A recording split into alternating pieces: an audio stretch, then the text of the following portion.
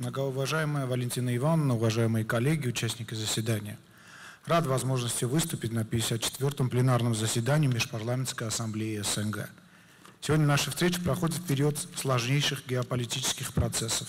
Я впервые выступаю на пленарном заседании Ассамблеи МП СНГ и предпочел бы говорить о мирном сотрудничестве, однако реалии сегодняшнего дня таковы, и мы с сожалением это констатируем, что усилия Армении и международного сообщества по установлению долгосрочного мира в регионе Южного Кавказа торпедируются воен, э, воинственной риторикой и военными действиями со стороны Баку. Как вы уже знаете, 13 сентября 2022 года вооруженные силы Азербайджана, грубо нарушив международное право и режим прекращения огня, предприняли широкомасштабную вооруженную агрессию против суверенной территории Республики Армения – в результате наступательных действий Азербайджана у армянской стороны сотни жертв, раненых, без вести пропавших и военнопленных, а также несколько тысяч перемещенных лиц. Имеются жертвы среди мирного населения. Нанесен значительный ущерб гражданской инфраструктуре. Некоторые участки суверенной территории Армении оккупированы вооруженными силами Азербайджаном. Этим нападениям предшествовали акты агрессии в мае, июне и ноябре 2021 года. Зафиксированы ужасающие случаи расстрела армянских безоружных военнопленных на суверенной территории Армении, насилие, расчленение захваченных плен армянских военнослужащих. В азербайджанских социальных сетях распространены фото и видео пыток и надругательства над телами армянских женщин-военнослужащих. К сожалению, эти преступления, осужденные международным сообществом, получили широкое одобрение в азербайджанском обществе. В этом контексте необходимо провести надлежащее международное расследование, а лица, совершившие эти злодеяния, должны быть привлечены к ответственности. К сожалению, отсутствие однозначной и адресной реакции со стороны международных и региональных структур в ответ на, не, на соблюдение своих обязательств позволило Азербайджану продолжать свою агрессивную политику. Армения привержена установлению долгосрочного и справедливого мира в регионе Южного Кавказа и на всем пространстве СНГ.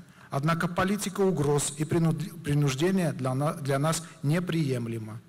Для результативного переговорного процесса необходимы конкретные действия, а именно вывод азербайджанских войск с суверенной территории Республики Армения, безоговорочное соблюдение режима прекращения огня и незамедлительное освобождение всех армянских военнопленных и других удерживаемых лиц. В связи со сложившейся ситуацией мы обратились в ОДКБ с просьбой о предоставлении Армении необходимой, в том числе и военной помощи, в соответствии с положениями статьи, статьи 4 Договора о коллективной безопасности.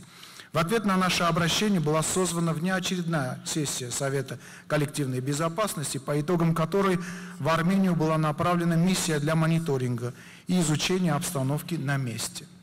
Миссия уже завершила свою работу и представила выводы и предложения.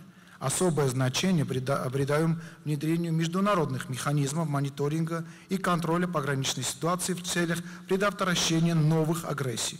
По итогам договоренностей, достигнутых в Праге 6 октября текущего года, в Армению прибыла техническая группа гражданской мониторинговой миссии ЕС. На основании соответствующих решений Совета министров ОБСЕ и согласно запросу Армении принято решение о направлении на армянско-азербайджанскую границу наблюдателей ОБСЕ. Коллеги, хотел бы отметить нашу принципиальную позицию по вопросам делимитации границы с Азербайджаном и разблокирования транспортных коммуникаций.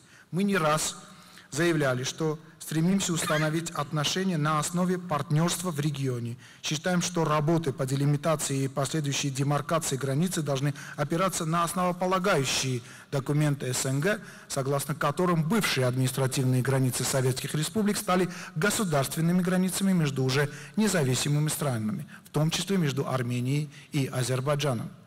Армения готова к открытию имеющихся и строительству новых коммуникаций в соответствии с национальным законодательством стран, по территории которых они проходят.